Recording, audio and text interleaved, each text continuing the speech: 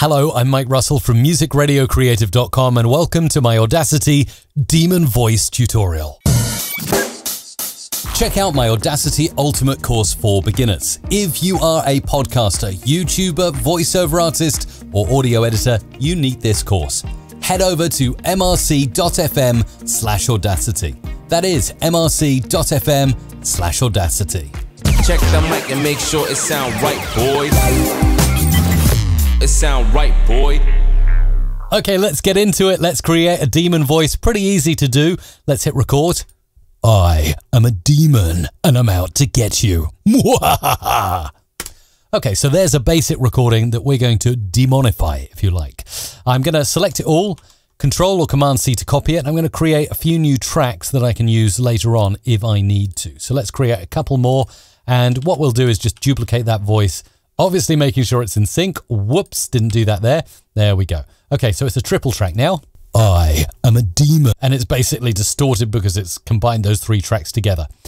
Let's mute out those two tracks and work on the top track. And I'm going to select it all, effect, and I'm going to change the pitch. And I'm going to bring the pitch right down. Let's try. I am a demon. Oh, that's pretty spooky, isn't it? Let's go to minus 593. I am a demon. Okay, that's pretty cool. Let's apply it. If we want, we can go into effect and we can go for phaser as well. And let's go for a factory preset and set it to default. Uh, let's just bring some of these up a little bit to increase the effect of this. Let's play it back. I am a demon and I'm out to get you. That's pretty spooky. Let's apply that. And there we've got a phased pitch shifted uh, demon. Let's just use the envelope tool to decrease the volume. I can see it's clipping a little bit. So let's bring that down a bit. Now we can bring in another track and make it even spookier.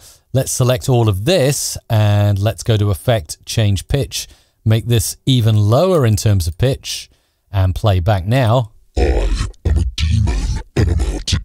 Whoa, that's pretty scary, isn't it? Uh, if I want, I can pan that a bit to the left and I can unmute this one.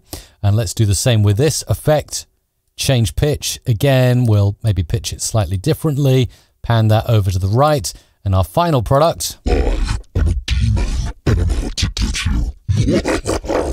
That's pretty demonic, pretty crazy, and pretty scary if you ask me. Subscribe to my channel for more tutorials just like this one. If you're creating an online radio show, podcast, radio imaging, or simply want to make your voice sound different, you must get hold of my Audacity presets. Head over to mrc.fm forward slash presets.